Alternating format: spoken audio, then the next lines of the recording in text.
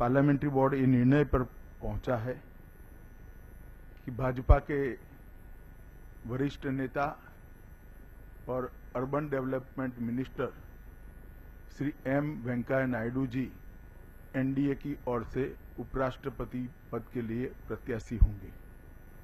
करीब 25 साल से लंबा, सुदीर्घ संसदीय कार्य कार्य का उनका अनुभव है।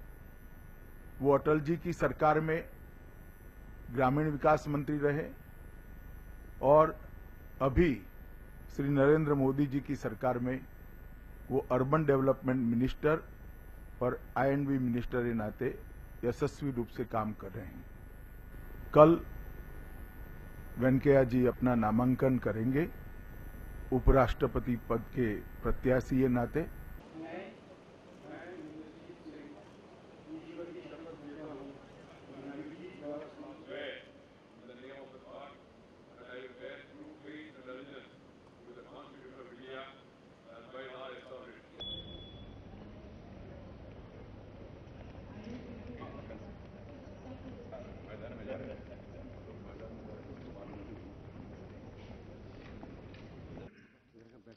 आदरणीय प्रधानमंत्री जी।